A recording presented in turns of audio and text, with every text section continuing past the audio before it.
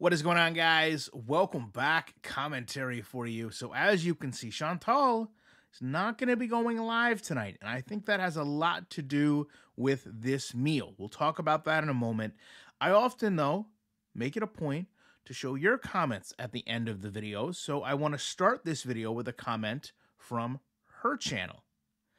And I think if we look at that, we understand we're transitioning to a Hameo, but of course, we're also transitioning to this message. Chantal, I don't think you fully understand what it means to try.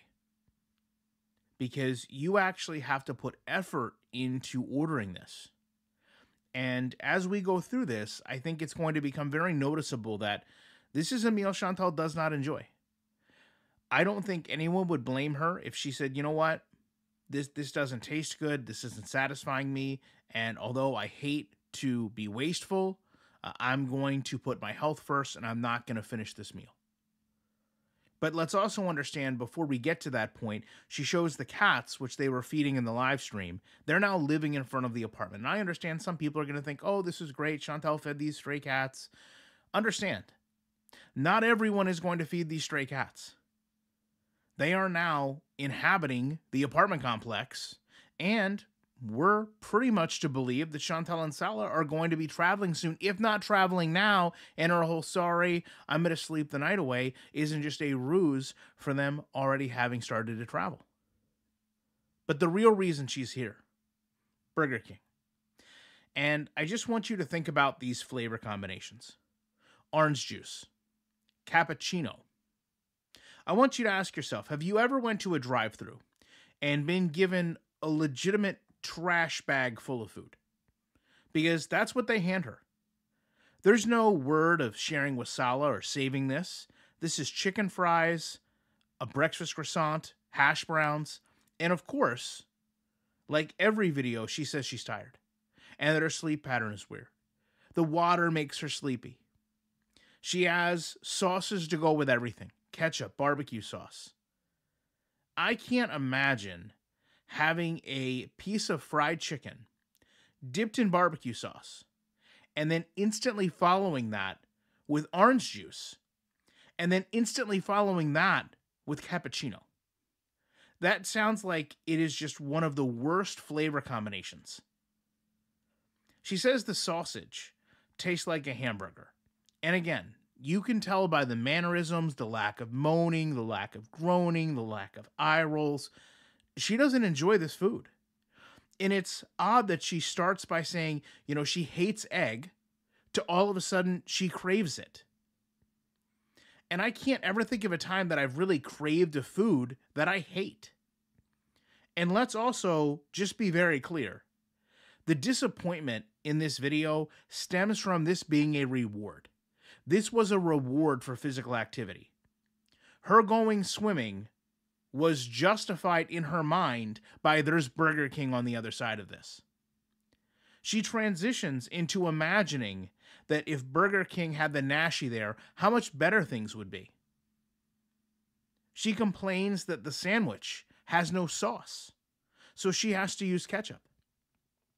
She says she wants to swim in the ocean, but she's tired. And then she starts to go on about her favorite meals eating food that you're not pleased with, talking about food that you wish you had. If you can't see the connection of why this is bad, then you probably don't understand the reality of Chantal. You also have to understand that this is her not liking a meal that likely constitutes a full day of eating for most people. By all accounts, this meal is over 2,000 calories. And I'm not going to sit here and say that you can't indulge and enjoy a meal of that size. But what I will say is if you're going to, you better enjoy it. You better be satisfied when it's done. And it better be foods that you love. You know, I used to work at a place that had a cafeteria inside, you know, where you would go down on your lunch break and, and essentially there were, I don't want to call them chefs, but, but there were people there that would cook you a lunch or a meal and they would have specials albeit they weren't all that great. It was still better than maybe what you would get for takeout. And I distinctly remember an argument at the workplace one day because there was a woman that was so angry that the meal didn't meet whatever specification it was. And I remember her screaming that if she was going to waste her calories, if she was going to waste her time on that type of food, that it better taste good. Now, I'm not advocating for you to just start flying off the handle and screaming, but I am saying that to that point, there's a lot of people that will allow themselves to carefully indulge, that will allow themselves to plan out a reward and create, let's call it a healthy boundary and respect. All right, I'm going to go do this, and in return, I'm going to have this.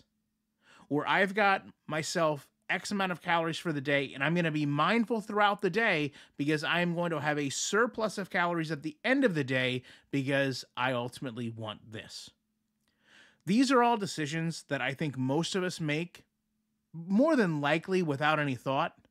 We just plan our day mindlessly to eat Chantal plans her day around food with conviction and understanding of what she's going to eat. But in this video, we see because as everything is done in 13 minutes, there's a bonus sandwich waiting. And if you go watch this video, you don't even really have to watch it.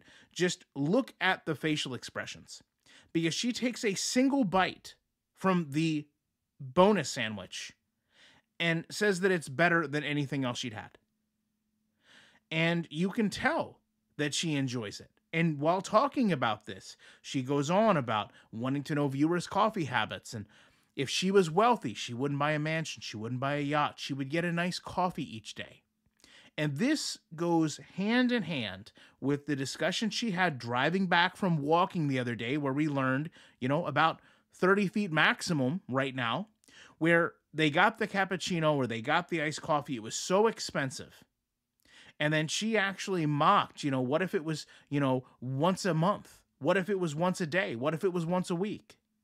And she calculated in her head that it would be around $300 and she thought about how wasteful that was. But now she's justifying it in the context of a video. She finishes this, not only the video, but the bonus sandwich, by reiterating the swimming made her so hungry and tired. And I think this goes back to like we just spoke about. She needed that reward. And she had mentioned whether it was this stream or not, she'd also mentioned going to Burger King. So I, think these are all things, as I just spoke about, she willfully plans. Now, I'm going to end this video by saying, Chantal, if you have been seeing your doctor, I would hope that you're telling them about this. The fact that you are constantly tired, that even the slightest bit of physical activity has you exhausted. Because what I would be most concerned with is we know that you're on insulin. We know that your body has issues regulating sugar. We know that you're eating a large amount of processed foods, junk foods, foods that are going to have a lot of sugar. Your body can't properly convert that into energy. And after eating, you're just exhausted. In this video, she almost was too tired to finish filming.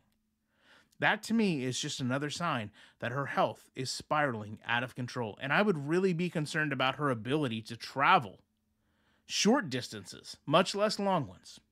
But apparently, that very well may be what she's doing right now.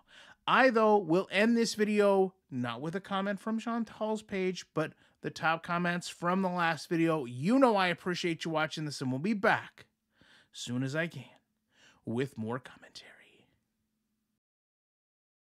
This is the ugliest woman in girl world. Are you going to be offended?